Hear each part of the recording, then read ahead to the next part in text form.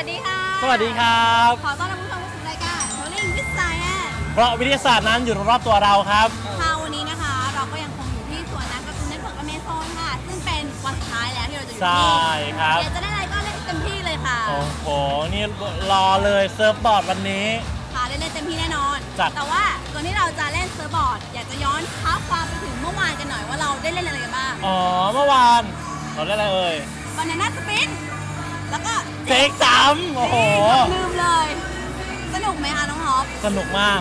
ค่ะพี่แพมก็ชอบมากเลยเพราะว่ามันเป็นเครื่องเล่นที่แบบว่าหวาดเสียวนะ แต่คือมันก็ปลอดภัยแล้วก็ไม่ได้ว่าน่ากลัวเกินไป ใช่ครับ แล้วก็ทำให้เราเนี่ยได้รู้ว่าอาการเสียววูบที่ท้องน้อยเวลาที่แบบเจอความสูงหรือความเร็วเนี่ยมันเกิดขึ้นเพราะอะไร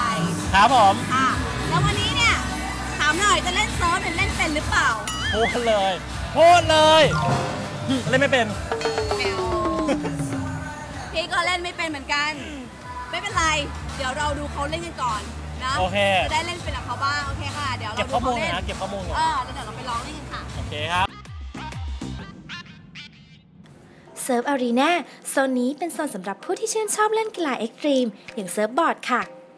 ผู้เล่นจะสัมผัสประสบการณ์โต้คลื่นที่สมบูรณ์แบบไปกับทีมผู้สอน FlowRider ไม่ว่าจะเป็นผู้เล่นมือใหม่ หรือผู้เล่นที่เล่นเป็นแล้วก็สามารถสนุกสนานไปกับการเล่น surfboard กับคลื่นน้ำลูกโตที่เร็วแรงถึง 35 ไมล์ต่อชั่วโมง และมวลน้ำถึง 30,000 แกลลอนต่อนาที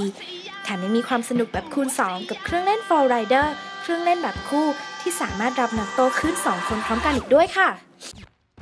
I'm an albatross.